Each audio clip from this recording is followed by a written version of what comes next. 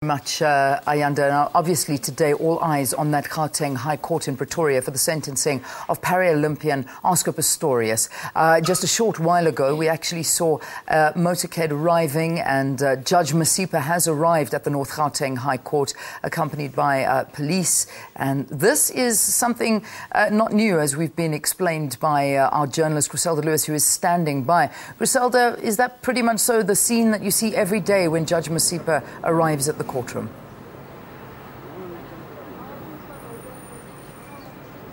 Well, Jan, it pretty much is that uh, Judge Thokozile Masipa usually arrives at about this time, escorted by about three or four uh, policemen on, uh, you know, on, on motorbikes. And uh, she's escorted into the gate towards uh, the left side of uh, the North Gauteng High Court. And uh, often, you know, just in the beginning when we tried to get shots of Judge Thokozile Masipa arriving, you'd often get police officers, officers a bit uncomfortable about us taking shots of that motorcade escorting her inside the court. But uh, yes, a normal course of events, and it's been happening ever since the start of this trial. Yeah. All right. So it's a massive day uh, for Judge uh, Masipa as well, because uh, as as we've been speaking about, the world is watching. We are watching.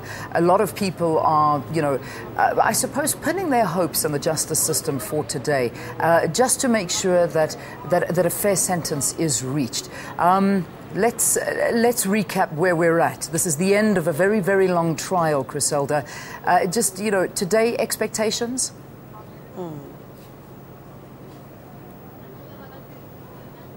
Well, certainly a very big daily, and I mean, Oscar Pistorius will know his fate. He will know whether he will spend some time in jail for negligently shooting and killing Reeva Steenkamp, or he'll simply walk out of this court. It's bound to be, uh, you know, a, a, day of high drama as the Pistoriuses and the Steenkamps again come face to face on the opposite sides of the public gallery. And, uh, you know, uh, you know that the state has been calling for 10 years for Oscar Pistorius behind bars. And the defense basically doesn't want him to spend a single day in jail, say that there are other corrective measures, including a correctional supervision. So, certainly from the people that we've spoken to here on the streets of Pretoria, majority of what we are getting, Leanne, people are saying that Oscar Pistorius should do the time that fits this crime. Uh, you know that Oscar Pistorius, of course, was found guilty of culpable homicide, and the uh, more serious charge of murder, of course, was thrown out by this court. Uh, Judge Thokozile Masipa found that Oscar Pistorius was negligent when he pulled those uh, four, when he pulled the trigger four times.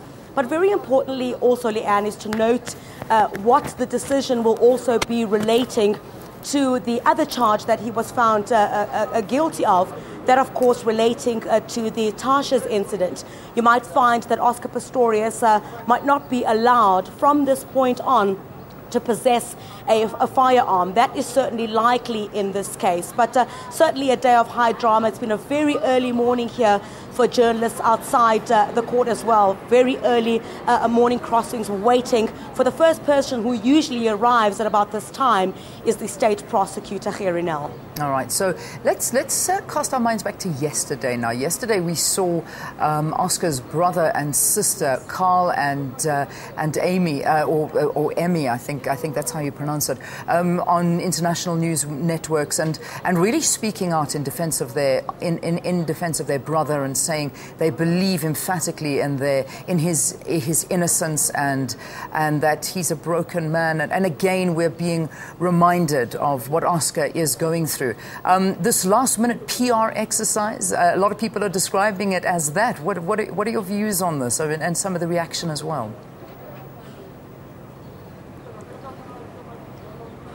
Well, Leanne, I must indicate I find it rather strange that, of course, an interview uh, has been conducted with uh, Emmy and uh, Carl Pistorius just yesterday, while all along, while there'd been requests uh, for the Pistoriuses to do interviews, certainly that was not granted. What we had been seeing over the past 18 months was statements that were often read out by Oscar Pistorius' uncle, Arnold, and uh, you were not allowed to ask questions after that statement was read out. So certainly uh, many people were commenting on it, and certainly uh, uh many other local journalists here also saying that they find it, uh, you know, uh, quite odd that that interview was uh, conducted on the eve of the sentencing in this trial. So, you know, while we are not at liberty or, in all fairness, to say why that was the case, because we certainly don't know, but it certainly has raised some eyebrows outside the court about the timing of uh, the granting of this interview with Emmy and Carl Pistorius. Certainly, both of them have shown to be very strong pillars of strength for Oscar Pistorius. We've often seen Emmy Pistorius break down. In particular, when Oscar Pistorius took the stand, she was beside herself. And also, Carl Pistorius, who himself has been through an ordeal of his own. He has been in a car accident. He was in a very serious condition, but he'd been wheeled inside the North Gauteng High Court here to continue to support his brother. So, really, uh, the interview uh, certainly granted um, uh, uh to the international media uh, to speak about Oscar Pistorius certainly shows yet again that unwavering support by Oscar Pistorius' brother and sister, and their belief in his innocence, their belief in uh, them saying or believing what Oscar Pistorius' version is and continues to be that he shot and killed Reeva Steenkamp thinking she was an intruder in the bathroom on that Valentine's Day morning. All right, Chriselda Lewis, let's wrap this up. Uh, I know we're crossing to you throughout the morning uh, for, for, for, everything and, and, and news that's coming from the North Gauteng High Court. How long do you expect this is going to take? A lot of people saying um, that Judge Masipa uh, shouldn't be taking too long and that uh, within a couple of hours we should know. And it's not going to roll on one for hour. days. Uh, one hour, you think that's how long?